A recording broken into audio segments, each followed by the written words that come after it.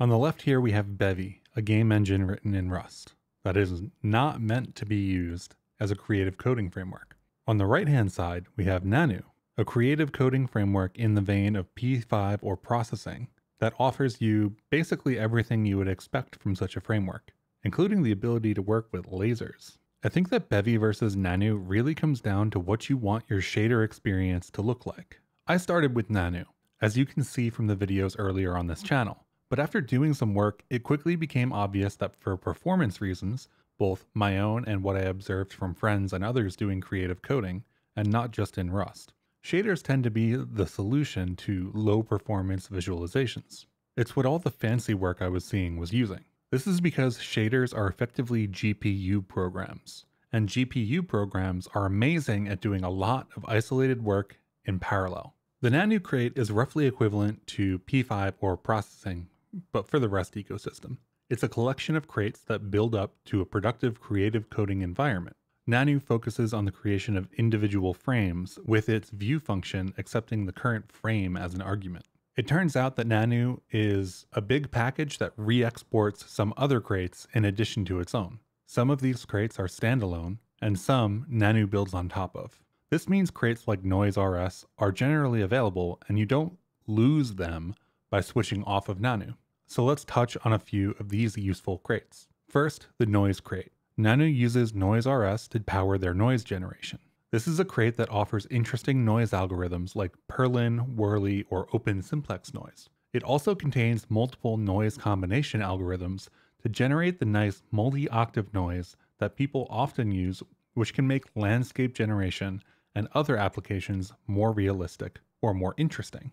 One really interesting note on Noise RS is that the primary example is rendering the noise to an image and saving it, which means that even if you can't depend on the Noise RS crate in your Rust project, you can still benefit from it in shaders and other applications by treating the image output as a texture to sample from. One really common need in creative coding is the need to change one value into another value, typically over a period of time or some other period. Easing functions are a common solution to this, and Nannou supports a variety of easing functions using the pennereq crate. For any regular Rust value in any Rust application, you could use this functionality. This includes Bevy. But if you want to write shaders, you have to use a different set of easing functions written in a shader language like WGSL. Luckily, these functions are basically pure math. So if you have the ability to do math, you have the ability to set up easings. And even better, we already know what these are, so you can just Google it. Bevy additionally also has multiple easing and tweening crates available in the ecosystem that make setting up different easings or chaining them together an absolute joy to work with. For color support, Nannou relies on the palette crate to supply its implementation of colors and color related transformations, while Bevy relies on its own built in color enum. You can, of course, take palette and use it anywhere, but many built in Bevy constructs that accept colors do it in the form of a Bevy color enum, so you'd have to convert to that unless you've written your own support in, which you can do when accepting arguments to shaders and things like that. Both Bevy and Nannou use the ubiquitous image crate. In Nannou, this makes it easier to capture images, but you'll also find yourself using WGPU texture for building samplers. In Bevy, image is used as the base type for a specialized Bevy specific image type that supports different formats, compressions, and being serialized to the GPU. So what do you miss out on if you switch from Nannou to Bevy? In the switch, you lose out on the baked in infrastructure that operates on a single frame by default. This means that it can be harder to build deterministic frame for frame output and save functions in Bevy when compared to Nannou.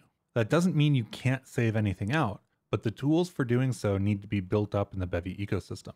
Nannou, on the other hand, has features built in for saving frames from CPU work and built on top of WGPU for extracting textures from the GPU.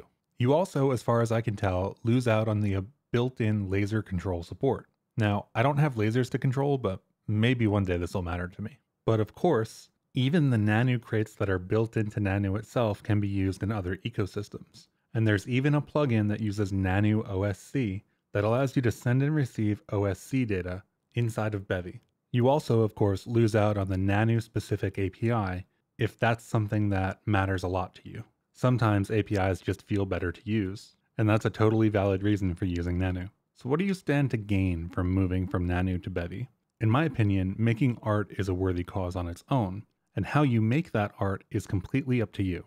The tools, after all, do affect the art produced. For me, I choose to pursue my shader work in Bevy for a few reasons. Bevy's new material APIs, introduced in Bevy 0.8, made shaders seem more approachable. While Nannou doesn't abstract much, if at all, over WGPU, Bevy has built an entire game engine on top of WGPU. Part of this work is building an extensible rendering pipeline and better ergonomics for using it. Because these ergonomics are on the critical path for Bevy to be a usable industry standard game engine, I believe that the work here will continue to advance. Because Bevy has built, or is building depending on who you ask, an entire game engine, you benefit from all of the trappings of such a thing. This means that you can write shaders that interact with real 3D objects and write intuitive 3D code to power those objects. These objects can even be modeled and prepared in advanced software like Blender.